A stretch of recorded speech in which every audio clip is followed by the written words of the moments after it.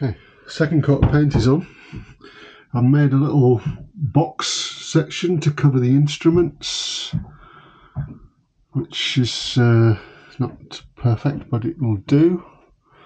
Um, still trying to decide whether I paint this wall or not, but we'll see. And then the floor is looking a lot cleaner, and in there is looking a lot cleaner. I'm going to paint this white next job and then uh, start reassembling I think. Well, had a massive um, well rainstorm last night, bit of wind. Uh, battery's depleted so I'm running the engine but I think I'm going to have to take the battery in and get it charged properly. Uh, priority though has got to be this. This is the toilet pump. I've got a service kit for it so I need to get that working. Um, found quite a few leaks, but they're all fairly simple fixes. So um, as soon as this lot disappears, we'll give it a go. Um, I don't want to do it while there's still all the rain around because uh, some of it is glasswork. Um, and I need to go get some Sikaflex anyway. But we've had a rough night, haven't we, Lucy?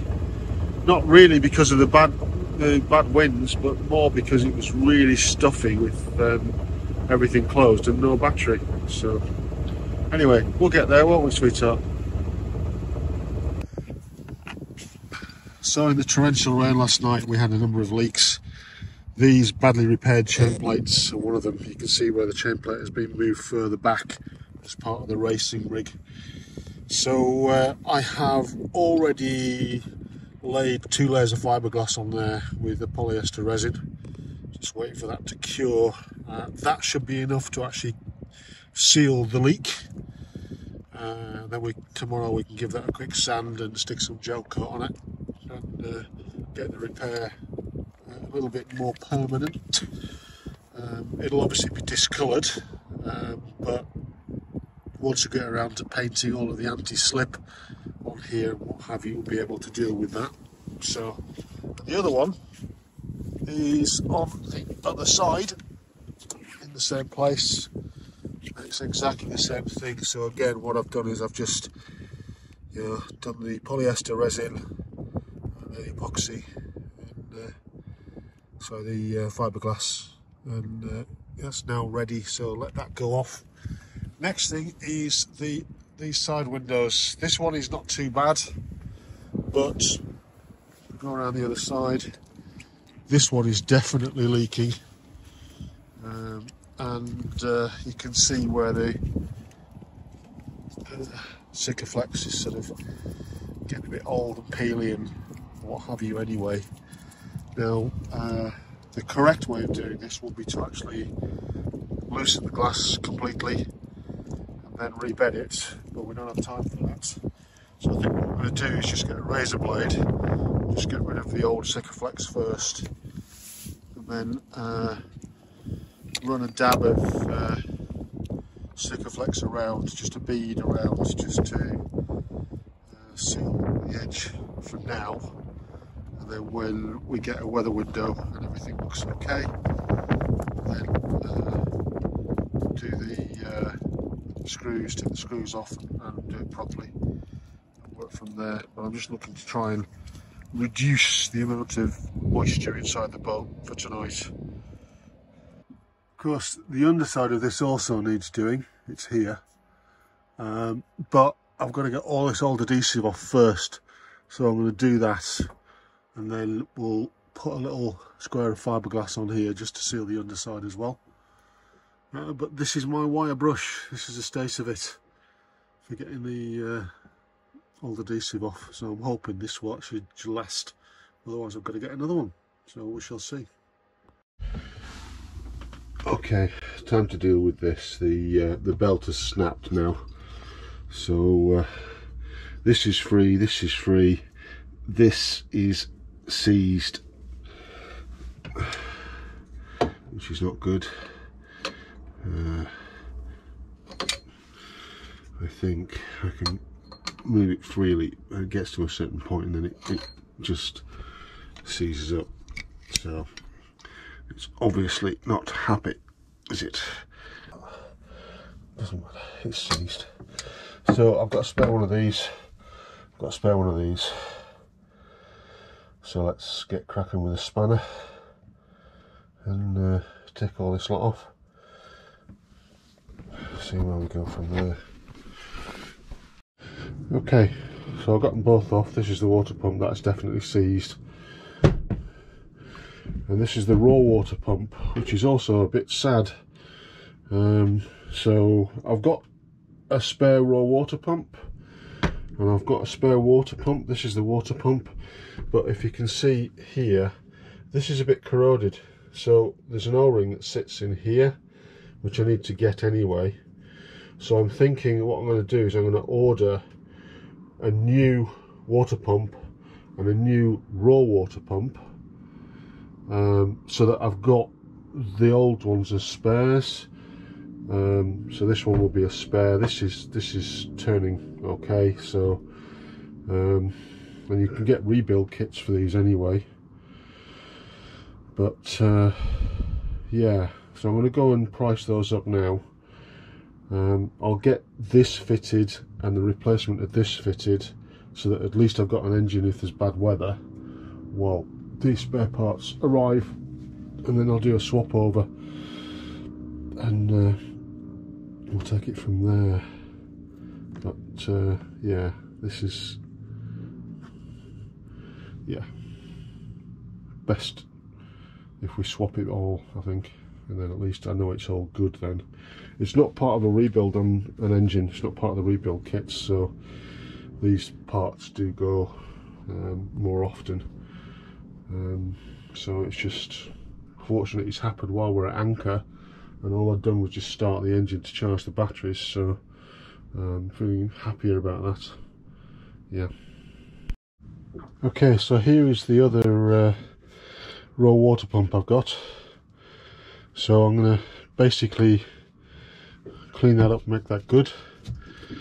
Uh, it's turning freely because there's no impeller in there so I've got to swap the impellers across. And before anybody comments I've actually ordered a new impeller kit. That will arrive tomorrow but I just want to get the engine up and running so that if anything happens at least I can start it and get out of trouble. So I'm putting everything on the engine and getting it back together into a running condition and then when all the fresh parts arrive I'll start working on it. So I've ordered the rebuild kits for this and for this and I'll rebuild these two um, and then keep them and then these two will get fitted and uh, hopefully that will mean that we can run and I've ordered two impellers so basically this the impeller that's going in here today will be thrown away once I've finished. So that's the that's the general idea. So I'm going to swap the impellers across now and then I can fit this pump and then we can start work. So we've got a bit of a problem. One of the blades has gone on this impeller that means that it must have gone up through the pump. So we're going to have to chase that down see if we can find it because we can't leave it in the system so that's the next thing. I'll start fitting things and uh, start working through the pipes. So while I'm waiting for the impeller the sink in this bathroom has been bugging me with this yellowing plastic. So I've taken it out. It was only held in with a little bit of Sikaflex at one end. So I'm going to clean all that off. I'm going to clean all this off and then I've got some paint it's acrylic paint I don't know whether that's any good or not but we'll see. So I'm going to basically prep this and uh, paint it. Make it look all pretty. How about that? Well it's coming. But I made a mistake with this. This is taking forever. Plus I've got overspray I use an acrylic paint and uh, I don't know what you can see but for some places it's not actually sticking very well. I've tried sanding it back and putting primer on there. It's made no difference. So I'm just going to have to let it dry and then where I've got the little blemishes, just give it another quick sand and uh, another spray. And then hopefully it'll come right. Um, but I think once it's done it will look alright. Toilet's in and working. I'm going to paint the seat gloss white. That's my final job for in here and then uh, we should be pretty much there. The sink I've painted gloss white. That's just waiting for this to dry before I fit it. So, yeah. And I've also, I've got to paint the um, the accessories gloss white as well. I've got the primer on there. They need the undercoat. Uh, they need the gloss. So we'll see. Well, I've just dropped the sink in. It's just got primer on it, so it's not finished, but that actually works because it covers up the blemishes in the uh, top. So I think that looks quite nice. Don't know what anyone else thinks, but I quite like it. Okay, so impeller's changed. There's a new raw water pump on, new circulation pump on. I've got the kits, so the rebuild kit, so I can start on that. But now I've got to trace that impeller blade that had dropped off the impeller. So I've got to go and take the heat exchanger off, which is down here. So, uh, yeah, down there. So I'm going to take the end off and see if I can pull the core and see if I can get it that way. If I can't, I'm going to have to then take the heat exchanger off, which is going to be a, the case, which is going to be a little bit, little bit more difficult, but not impossible. Okay, so the heat exchanger is currently soaking in this descaling stuff. Give it another 15 minutes in there. And then I've got to uh, basically pump that back into there so that um, I'm not uh, spilling any. So that's the general idea of this. But I've got it now to a point where it's actually submersed, so that's good. So I'll give it another 10 15 minutes just to get rid of all the scale and then uh, yeah decant this into there. And then once I've done that bucket of seawater and then that goes in there. Soak it just uh, get rid of all the excess. So yeah. Okay so that looks pretty clean now decanter stuff back into there so uh, right we'll put it back in okay so we're going to refurbish this next job. Uh, I've got a towel to put down here save the woodwork and uh, I'm going to sacrifice the towel. It's only a cheap thing from marketing so it's not that big a deal and uh, I just want to make sure that I'm not going to be uh, damaging the woodwork basically. So that's that. Uh, I need to strip all this down. And then this is the rebuild kit. So there are a couple of seals. The Yanmar ones apparently fit but they're less than a tenth of the price. So we'll, we'll see and then in here what we've got is in this little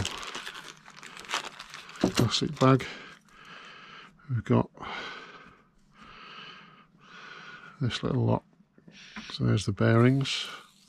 They look quite nice. A little seal.